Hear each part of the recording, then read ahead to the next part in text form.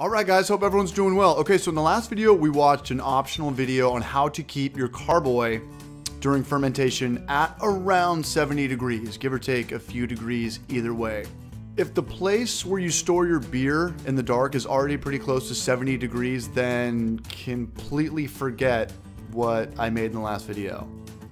Okay, so that's pretty much it. After the two weeks, the yeast has turned all of our sugars into alcohol, and congratulations, we can officially call this beer. It's just uncarbonated beer.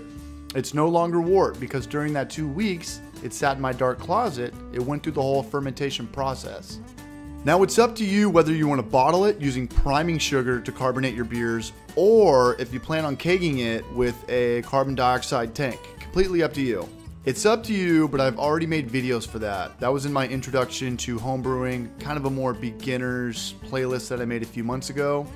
What you guys just watched was somewhat advanced homebrewing. You can click here if you want to see my bottling and carbonation process. Oh, also, after your beer has been sitting for two weeks fermenting, when you finally open it up, test the final gravity to determine your alcohol by volume. Other than that, congratulations. I hope you guys learned a thing or two, and I'll see you guys in the next video. This is CH. Thanks for watching.